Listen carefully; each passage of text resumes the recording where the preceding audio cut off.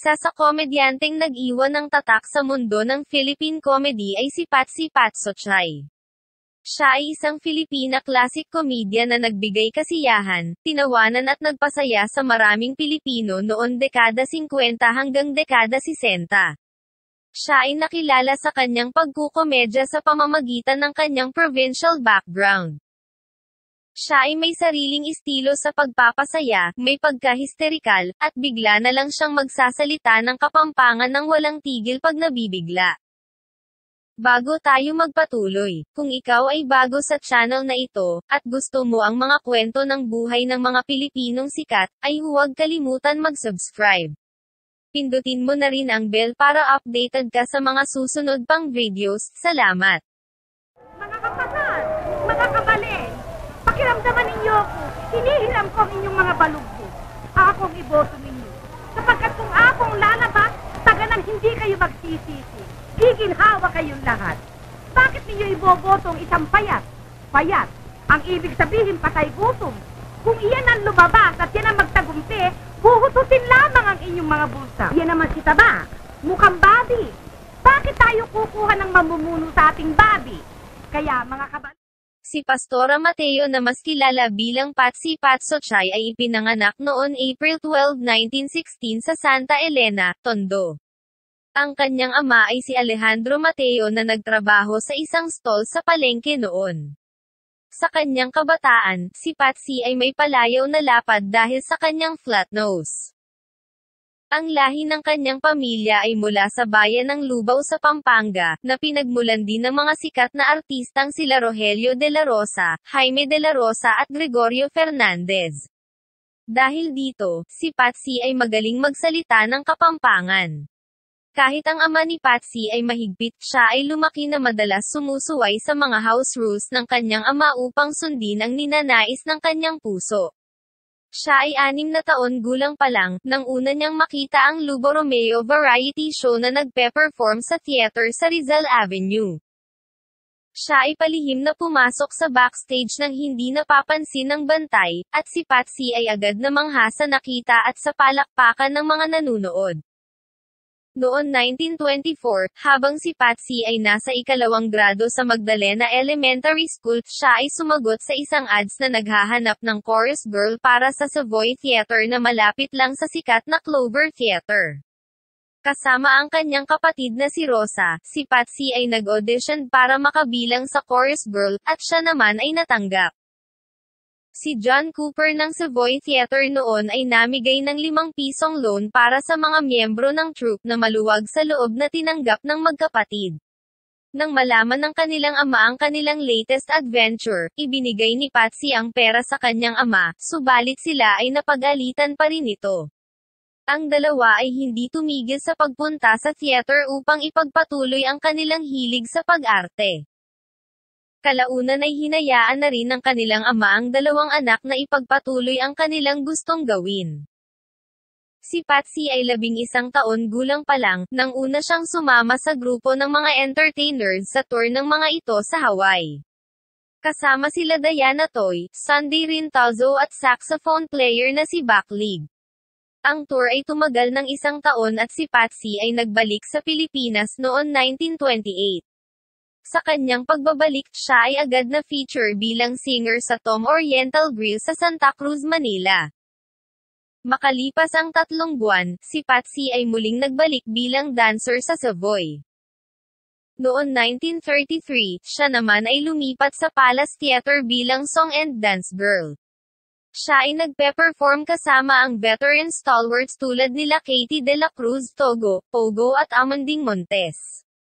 Mula sa pagpe-perform sa mga vaudeville house, pinasok din ni Patsy ang mundo ng pelikula noon 1934, at nakakuha ng supportang role sa pelikulang Ang Dangal. Nasundan ito ng Dasalang Perlas noon 1938, at Rosenor noon 1939. Habang siya ay kumakanta kasama si Hanasan sa stage noon 1939, isa sa mga nanunood ang nagsabi sa kanya na ang kanyang ama ay namatay. Tinapos niya ang show kahit sobrang sakit ang kanyang nararamdaman. Hindi niya napigilan ang pagluha habang kumakanta. Nang dumating ang Second World War, pansamantalang tumigil ang pagsikat ni Patsy sa kanyang showbiz career. Pero noon 1943, muling sumigla ang kanyang karera nang subukan niya ang comedy. Isang araw, nakaschedule mag-perform ang mga komedyanteng sila Toy Toy at Gregorio Tikman, sa kasamaang palad ay nagkasakit si Toy Toy, at sinabihan si Patsy kung maari siyang pumalit dito para sa show. Gumawa siya ng skit na gamit ang kapampangan dialogue na lubos na kinatuwaan ng mga nanunood.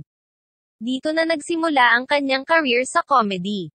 Si Patsy ay nagpatuloy ng pagpe-perform sa stage noon World War II. Nang matapos ang gera, siya ay muling gumawa ng pelikula, ito ay ang Alaala Kita noon 1946. Ang naging peak ng comedy career ni Patsy ay noon dekada 50 hanggang dekada 60. Siya ay nakasama sa mga blockbuster comedy na Edong Mapangarap noon 1950, kasama si Eddie San Jose. Bohemio, Babae, Babae, at Babae pa noon 1952 at Basagul era noon 1954. Ang kanyang naging biggest break ay noon siya ay alukin na maging isa sa mga host ng napakapopular na singing contest na tawag ng tanghalan. Siya ay pinareha kay Lopito kung saan naging tanyag ang kanilang tandem sa TV. Ang kanilang tambalan sa pag-host ng programa ay nakabawas ng tensyon sa kompetisyon at nakapagdagdag ng entertainment sa show. Madalas silang nagtatalo on air na kanilang naging estilo sa pagkukomedya. Kalaunan ay ginawa ng pelikula ang patimpalak na tawag ng tanghalan noon 1958 na pinagbidahan ni Susan Roses. Sumuporta rin si Patsy sa mga pelikula ng kampyon na si Diomedes Maturan at gumanap ng Rose sa mga pelikula nito tulad ng Private Maturan noon 1959. Detective Maturan, Prinsipe Diomedes at ang mahiwagang gitara noon 1961. Pero kahit regular nang gumaganap sa telebisyon at pelikula si Patsy, ay hindi niya kinalimutan ang stage show. Siya ay paminsan-minsan pa rin lumalabas sa Clover Theater sa Maynila. Noon 1960s, nakasama si Patsy sa mga pelikulang Juan Tamad Goes to Society at Manananggal vs. Mangkukulam noon 1960 kandidatong pulpol at triplets noon 1961. At The Big Broadcast noon 1962. Si Patsy ay kasama rin sa pitong mga artistang gumanap na mga katulong sa pelikulang Pitong Achay noon 1962. Ang mga ito ay sila Aroray, Chichay, Mengay, Elizabeth Ramsey, Deli Atay Atayan, Metring David at Patsy sa ilalim ng Dalisay Films. At nagkaroon pa ito ng sequel na ang pinakamalaking takas ng pitong atchay. Noon 1970s, si Patsy ay naging busy naman sa paglabas sa TV show sitcom sa RPN9 na May Son, May Son. At sa palabas na sila-sila, tayo-tayo, kami-kami, kasama si Chichay.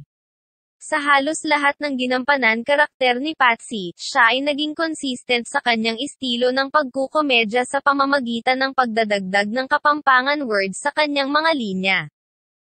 Madalas din niyang nakapareha ang komedyanteng si Pugo, na natigil lang noon ito ay pumanaw noon 1978. Noon 1979, si Patsy Patsochay ay pumanaw sa edad na 62 o 63. Ang kanyang mga komedya sa stage, sa pelikula at sa TV ay nagbigay impact sa mundo ng comedy sa Philippine showbiz. At ang kanyang istorya ng pagsikat ay isang inspirasyon, na basta ang tao ay marunong mangarap, ay maaari itong marating kung may pagsisikap at pagtityaga. Maraming salamat sa panonood. Kung nagustuhan nyo ang kwento ng buhay ni Patsy Patsochay at may komento o gusto kayo idagdag, ikomento lang po sa ibaba ng video. Huwag din po kalimutan mag-subscribe sa aking YouTube channel.